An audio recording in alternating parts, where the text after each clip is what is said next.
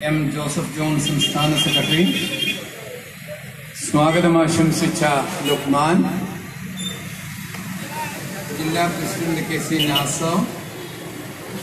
അതുപോലെ വേദിയിലുള്ള പാർട്ടിയുടെയും പാർട്ടിയുടെ ബഹുജന സംഘടനകളുടെയും സാരഥികളെ ജനപ്രതിനിധികളെ നിങ്ങൾക്കെല്ലാവർക്കും വെൽഫെയർ പാർട്ടി ദേശീയ ഘടകത്തിന്റെ ഊഷ്മളമായ അഭിവാദ്യങ്ങൾ നേരുകയാണ്.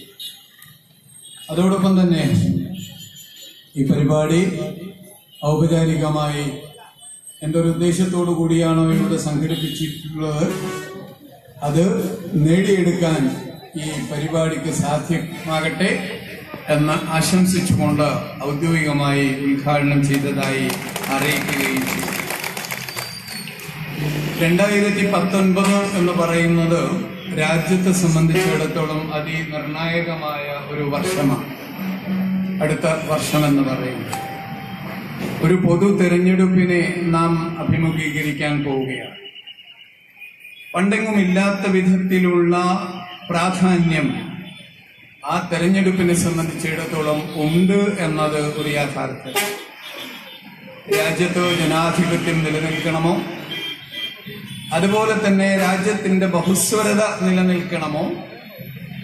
ഈ രാജ്യത്ത് വ്യത്യസ്ത ജനവിഭാഗങ്ങൾക്കിടയിലുള്ള ഊഷ്മളമായ ബന്ധങ്ങൾ അതപ്പാടെ അതുപോലെ നിലനിൽക്കണമോ തുടങ്ങിയ മൗലികമായ ചില കാര്യങ്ങൾ തീരുമാനിക്കപ്പെടുന്ന ഒരു തെരഞ്ഞെടുപ്പ് കൂടിയായിരിക്കും അത് എന്ന് എനിക്ക് തോന്നുന്നു.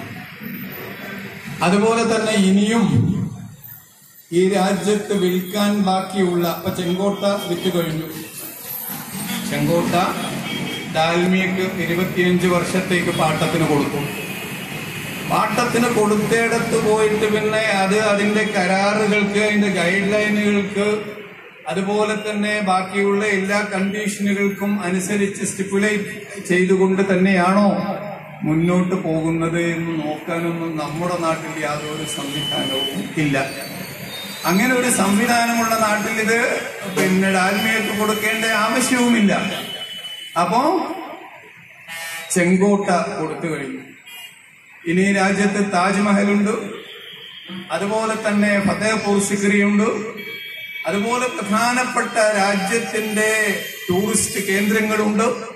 വിദേശത്തു നിന്ന് ആളുകളെ ആകർഷിക്കുന്ന കേന്ദ്രങ്ങളാണവ. അത് ഓരോന്നായി വിൽക്കപ്പെടുന്ന ഒരു അവസ്ഥ. അവസാനം ഇവിടെ ബാക്കിയാവുന്നത് ഞാനും നിങ്ങളും മാത്രമായിരിക്കും. പക്ഷെ നമ്മളും ഏതാണ്ട് വിൽക്കപ്പെട്ടു കഴിഞ്ഞിരിക്കും. കോർപ്പറേറ്റുകൾക്ക് നികുതി ഇളവ് നൽകിക്കൊണ്ട് കോടിക്കണക്കിന് രൂപയാണ് ഓരോ വർഷവും കോർപ്പറേറ്റുകൾക്ക് നികുതി ഇളവ് നൽകുന്നത്. അത് പരാമർശിക്കാൻ നമ്മുടെ നാട്ടിലെ മീഡിയ ഇല്ല അവർക്ക് അക്കാര്യത്തിൽ യാതൊരു വേവലാതിയുമില്ല.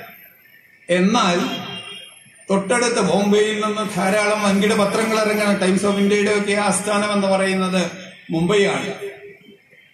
അവിടെ നിന്ന് ഏതാണ്ട് ഒരു കിലോ ഒരു മണിക്കൂർ യാത്ര ചെയ്താൽ വിദർഭയിലും അതുപോലെ തന്നെ മഹാരാഷ്ട്രയുടെ ഇന്റീരിയർ അതിന്റെ ഉൾപ്രദേശങ്ങളിലും എത്താൻ കഴിയും. അവിടെ നടക്കുന്ന കർഷക ആത്മഹത്യ എന്ന് പറയുന്നത് ഇന്ന് നമ്മുടെ മീഡിയകളിൽ വരുന്നേയില്ല.